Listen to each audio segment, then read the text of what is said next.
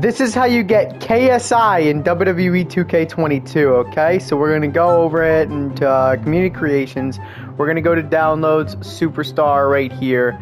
Now, this is important because you're going to want to go to Most Downloaded and you're going to want to have to type KSI in the hashtags. Now, you type KSI in the hashtags, very short, and that's all you really got to do.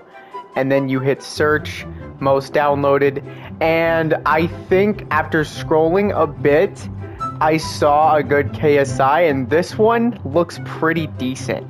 So I would recommend downloading this KSI. So after you're done downloading this KSI, after hitting download in this download button right here, you would go back. If you want to get a render for him, uh, you go to images and you figure out what KSI render works. Now, this one, ah, I mean, this one is actually pretty good. I would actually probably go with this one. Ah, I don't know. I mean, we'll see. That, that one's alright. So, with that said, thank you guys for watching, and I will see you guys in the next video.